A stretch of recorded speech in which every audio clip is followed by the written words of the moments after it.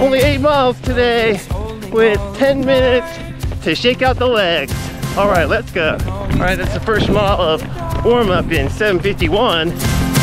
I never thought I could shake this heartache until I saw your light. Mile two, 801. Feeling like life is.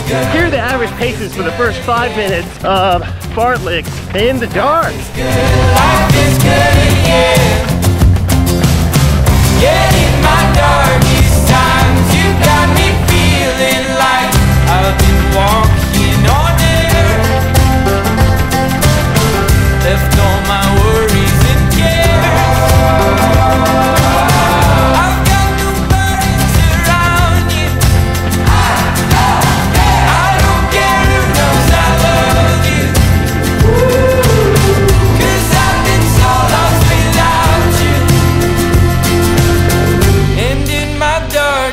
Darkest you got me feeling like life is good, life is good, yeah. Life is good, life is good, yeah. Yeah, are the paces for the last five one minute fartlek intervals. Thanks, Cole, for getting all of those really great clips during the fartlek. I really appreciate that. That's a really big ask and a tough task to accomplish.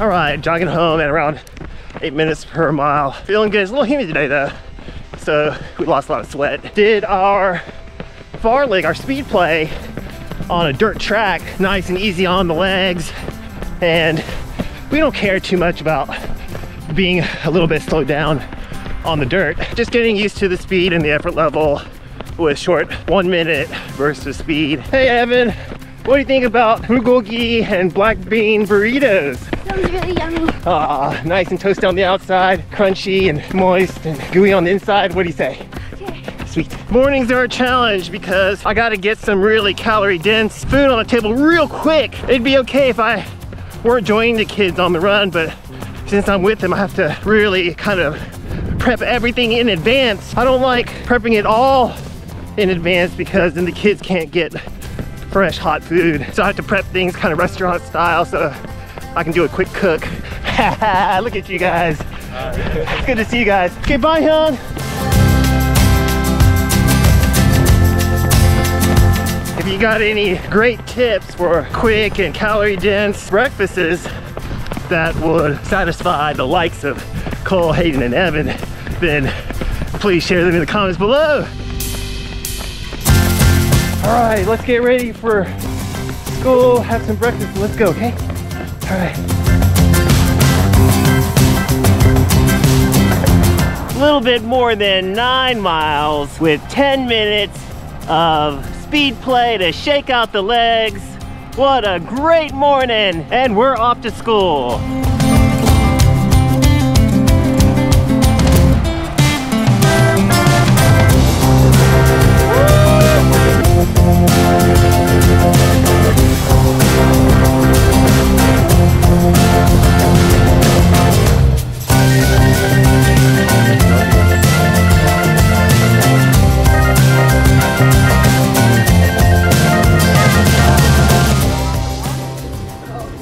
Mission accomplished. Got Evan off to school on time today. And now gotta hurry home, get cleaned up, get my workstation all set up so that I can do this interview with the midlife runner, Andrew Posa. Cause we're going to talk about all things about running during midlife. All right. You can check out the Midlife Runners YouTube vlog. You guessed it, at the Midlife Runner. where you can get the 411 on all things running and a good laugh while you're at it. Clever guy, clever guy.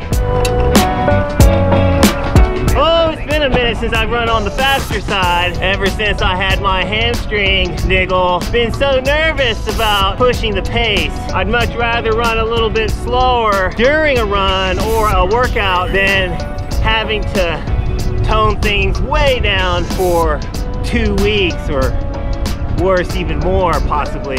So I'm really grateful that I was able to get a little bit of speed play in this morning, 10 minutes of 5K race pace without putting my old body, my midlife body in jeopardy. Our young buck Cole also had a really great morning. He took a few days off, not taking total days off, but just taking it easy and running only at easy pace with a cap of 11 miles. But he was able to push the pace a little bit this morning and felt really comfortable. So it's good news for him and he's learning how to live with and deal with his Achilles tendonitis. So I'm super happy for him and I'm glad that he's on the mend and back in good spirits again.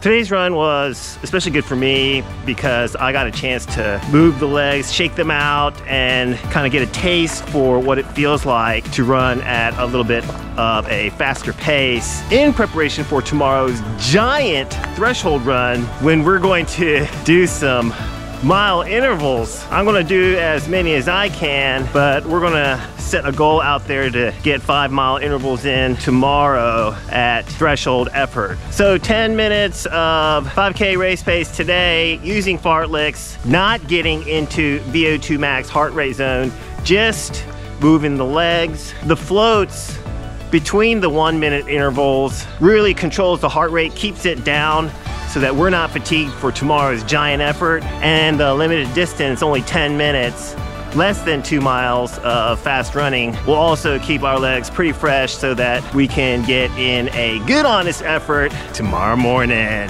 Hey, I want to say thank you to the best Patreon team in the whole wide world. We really can't do it without all of you. If you haven't heard already, I have a brand new Strava account. You can find me right here at Coach MK. Looking for a daily dose of running motivation? Then check us out on Instagram. Cole does a fine job getting that content out to you daily. Looking for a destination spring marathon? Then search no further. Come join us at the Big Island Marathon in Hilo, Hawaii. Use code ALLHEART for 20% off at registration. I don't think I got enough calories this morning. I think I'm gonna have to get home and have me an ice cream cone before I jump on this call with my good friend Andrew Putza. I hope you have a great day and a meaningful run. We'll see you in the next one. All right. Bye now.